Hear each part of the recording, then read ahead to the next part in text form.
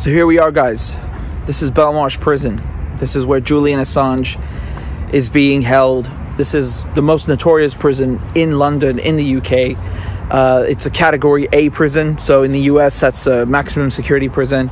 The type of people they put in here are terrorists, literally people from Al Qaeda. And ironically, those people, right, like Abu Qatada, they've been given bail before, but not Ju Julian Assange. Can't give him bail, right? Last time I was here, they came out, the guards, the guards came out and stopped me. They were not too happy about me filming, but, um, you know, I'm here nevertheless. And uh, honestly, just look at the back over there. It looks like Mordor, right? It's the gates of Mordor.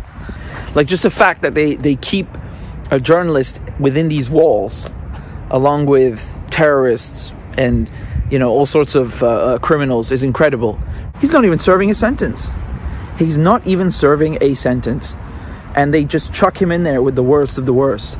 I was standing here almost two years ago. I'm back now. And what's changed? Nothing. Nothing at all.